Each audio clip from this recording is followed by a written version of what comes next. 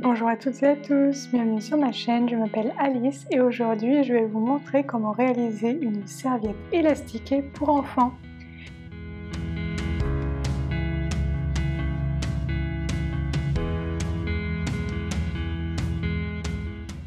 C'est une vidéo un petit peu imprévue, à coudre ces serviettes élastiquées, je me suis dit autant en faire un tuto et puis peut-être aider quelques parents parmi vous. Et donc si comme moi, l'école de votre enfant vous réclame des serviettes élastiquées et que vous n'avez pas envie d'aller faire les magasins, je vous montre comment les coudre vous-même. C'est parti En termes de matériel, vous aurez besoin d'un peu de tissu. Ces deux modèles sont des tissus euh, provenant de Mondial Tissu qui m'ont été gentiment offerts par la marque. Celui avec les dinosaures a eu beaucoup de succès à la maison. Vous aurez également besoin d'un peu d'élastique. J'ai choisi de l'élastique 12 mm. Une épingle à nourrice, Et enfin, j'ai choisi de mettre une étiquette de ma marque, mais ça c'est optionnel.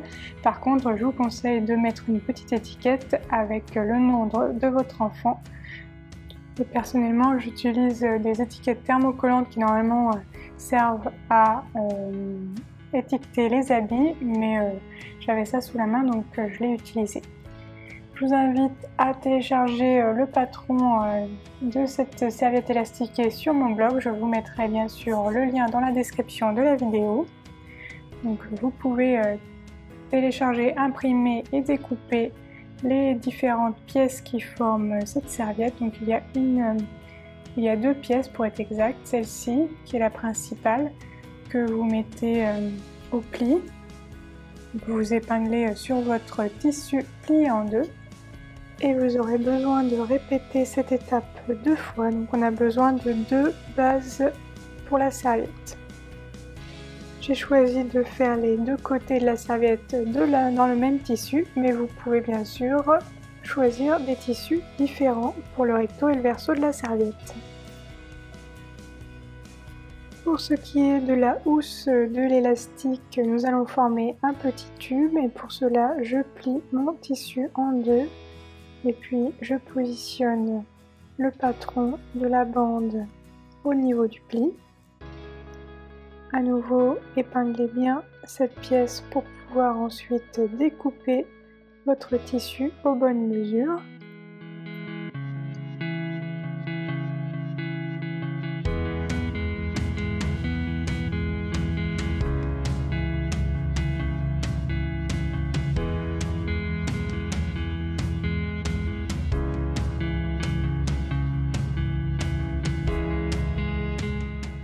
Si ce n'est pas fait, euh, pliez votre tissu endroit contre endroit et puis épinglez-le et vous allez réaliser une couture dans le sens de la longueur à 1 cm du bord.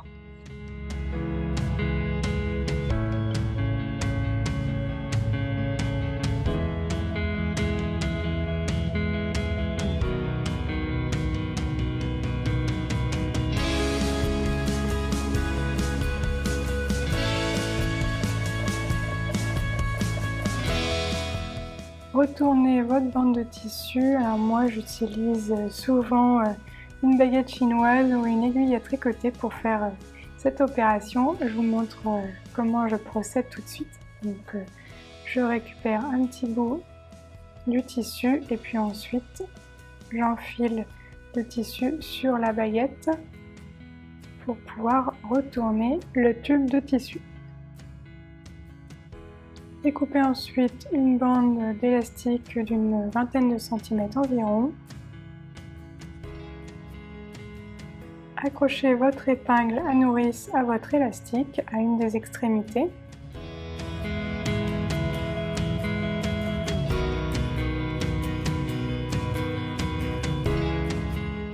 Et commencez à enfiler l'élastique dans le tube de tissu grâce à l'épingle à nourrice.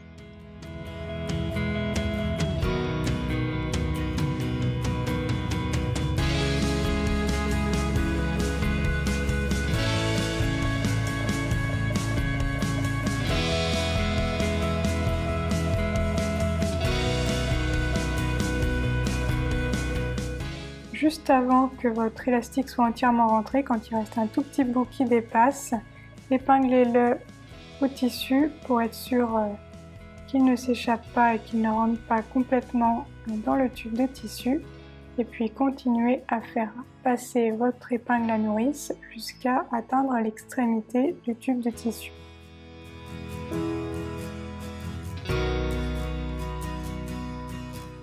Lorsque vous atteignez l'extrémité euh, de votre tube, retirez l'épingle à nourrice et puis comme au début, accrochez bien votre euh, élastique à votre tissu à l'aide d'une épingle pour éviter que euh, l'élastique re-rentre à l'intérieur.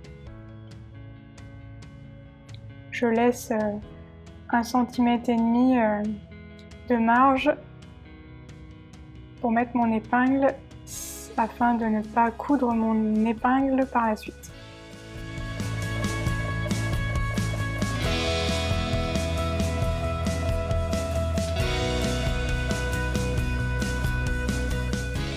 Alors on va passer à l'assemblage, donc commencez par épingler vos étiquettes sur euh, l'endroit d'une des, des bases de la serviette. Moi j'aime bien euh, mettre euh, mes étiquettes dans le bas, dans un coin, et puis j'épingle en laissant suffisamment de place pour pouvoir coudre et que mon épingle ne soit pas prise dans la couture. Vous voyez, je la positionne vraiment à gauche et il y a la place avec pour ma marge de couture juste à côté. Maintenant, on va épingler l'élastique sur cette même base. Donc en laissant un centimètre de chaque côté euh, de l'encolure. Donc ici, un centimètre à gauche de l'élastique. J'épingle bien droit. Et pareil, euh, je laisse de quoi coudre. Euh, donc je me laisse de la place pour coudre et je positionne l'épingle vers à 2 cm du haut de la serviette. Donc sur le côté gauche pareil, je laisse un centimètre à droite cette fois-ci et puis j'épingle mon élastique en me laissant de la marge. Je vais aussi euh, épingler un petit peu euh, cet élastique pour être sûr qu'il ne se prenne pas dans les coutures lorsque je vais euh, coudre endroit contre endroit les deux bases de la serviette.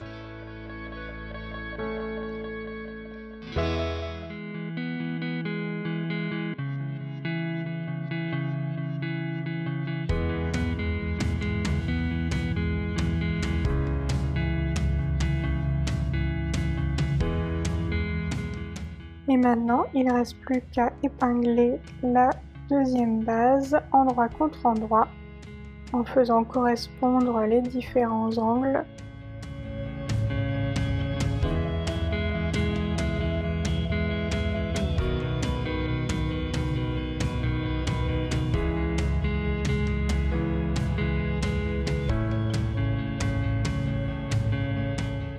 J'avoue que je n'hésite pas sur le nombre d'épingles, hein, euh, J'en mets vraiment beaucoup pour être sûr que ça tienne bien en place.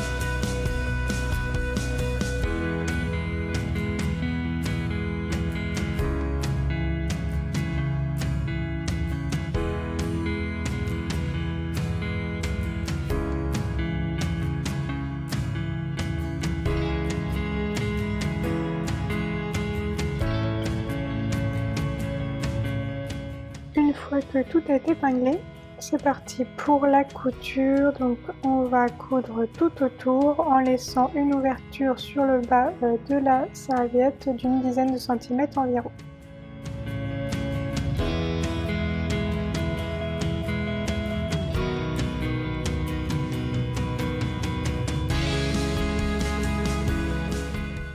Lorsque vous arrivez au niveau de l'élastique, vous pouvez repasser plusieurs fois, faire un renfort en termes de couture pour être sûr euh, que l'élastique soit bien maintenu à cet endroit-là.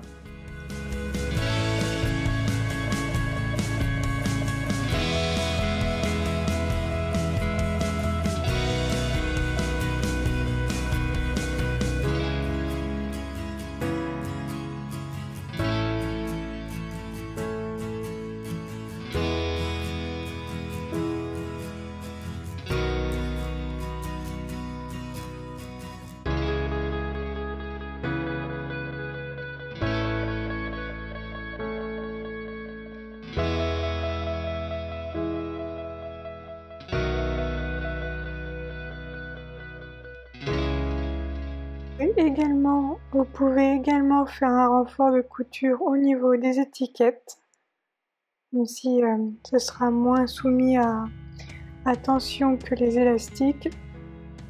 Il est préférable quand même de faire un petit renfort à cet endroit-là.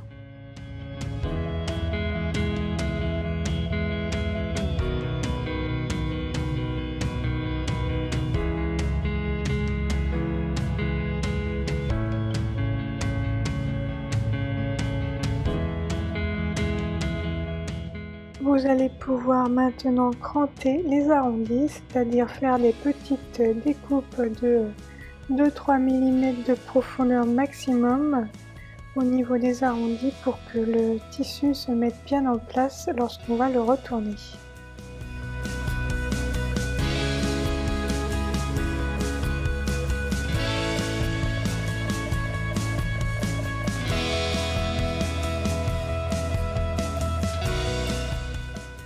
Retournez maintenant votre serviette et vous pouvez aussi retirer les épingles qui tenaient les élastiques et puis les étiquettes.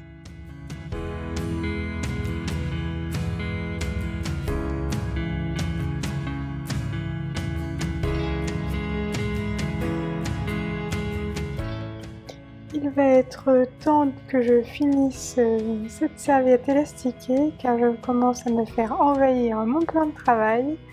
Euh, donc rassurez-vous, il reste plus qu'une dernière étape. Donc un petit coup de fer sur le, la serviette et puis on va surpiquer tout autour pour pouvoir notamment fermer le bas de la serviette.